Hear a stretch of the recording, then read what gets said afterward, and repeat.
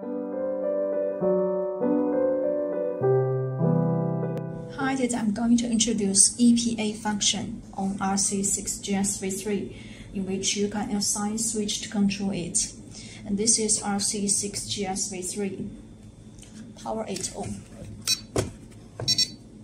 Long press exit and enter button at the same time to enter the setting page. Number 3. EPA EPA is to set different travel amount of a servo on either side from its neutral position. SW means switch. You can assign a switch to control EPA, and it can be set to null. Switch A, B, C, D, or their lock modes lock A, B, C, D. If you assign three position switch such as switch B or switch C to control EPA. You can set three different endpoints. And if you assign switch A, switch D, or their modes lock A, lock D to control EPA, two different endpoints can be switched. And if switch is set to null, EPA will keep the current values. And the rate below means the travel amount of the servo, which defaults to 100%. It can be set from zero, the minimum travel amount, to 120%, the maximum. You can adjust the EPA of steering, throttle, channel 3, channel 4, channel 5, channel 6, and channel 7 and I will show the adjustment of EPA only in steering and uh, throttle in this video. Take switch B, a three position switch as an example.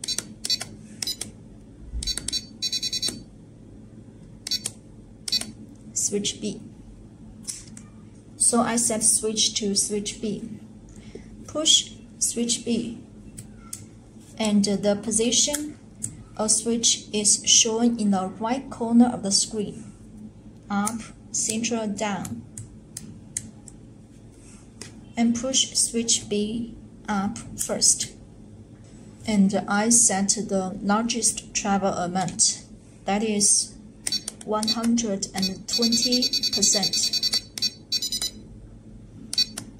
And please note, you can set different travel amount for the two sides of the channel in EPA, for example, for steering.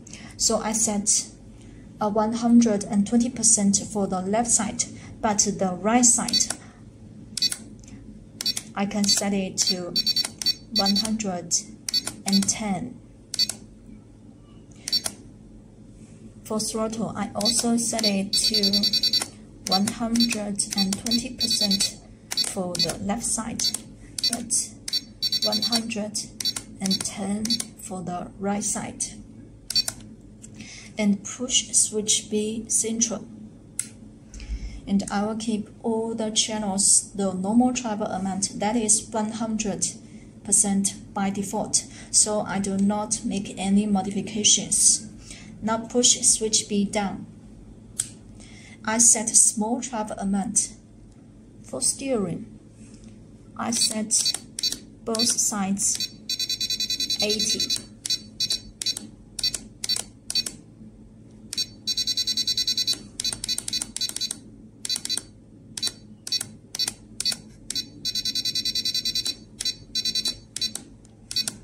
Throttle 80 for both sides.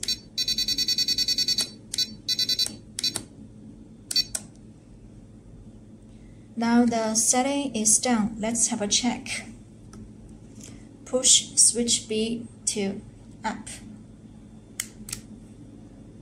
120 and 110 the large travel amount and push switch B central. 100% the normal travel amount and push switch B down.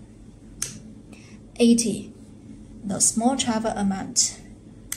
You can push switch B to switch the different travel amounts of the servo. So, and please note, You can also set different endpoints for channel 3, 4, 5, 6, 7 at the same time. So that's all about how to set different endpoints with any one of switch on RC6GSV3. And what is the difference of EPA and dual rate? For EPA, you can set a different travel amount of the servo on either side from its neutral position. That means for one channel, you need to set two values. But for dual rate, the travel amount of a servo is the same on either side. That means you only need to set one rate for each channel. So that is their difference.